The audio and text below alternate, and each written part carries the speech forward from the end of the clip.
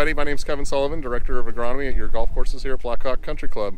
What I'd like to do is spend a little bit of your time today to show you how to properly fill a divot with some sand and seed mixture on the golf courses. Right, so here we are. We have a fresh divot that's that uh, that's here in the middle of the fairway. Ideally, we'd like to fill this divot up where, where it's flush with the turf, surrounding turf.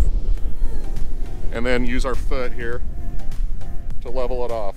The, the key to leveling it off is, that, is if there's excess sand, some of our mowers can, can mow through the sand. Sand is a gritty material and can dull our blades. So the, the level the levelness of, this, of the sand is very important.